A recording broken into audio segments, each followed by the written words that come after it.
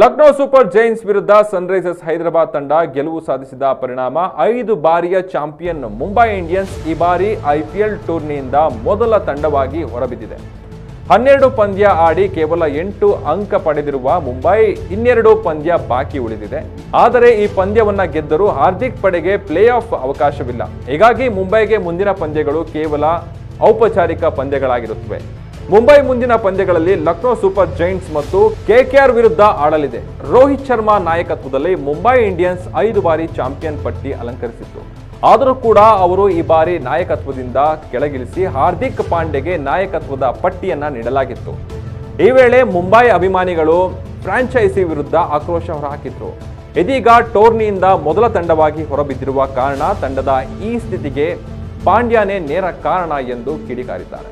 ಇನ್ನು ರೋಹಿತ್ ಶರ್ಮಾ ನಾಯಕನಾಗುತ್ತಿದ್ದರೆ ತಂಡಕ್ಕೆ ಈ ಸ್ಥಿತಿ ಬರುತ್ತಿಲ್ಲ ಎಂದು ಸಾಮಾಜಿಕ ಜಾಲತಾಣದಲ್ಲಿ ಪೋಸ್ಟ್ಗಳನ್ನು ಮಾಡಿದ್ದಾರೆ.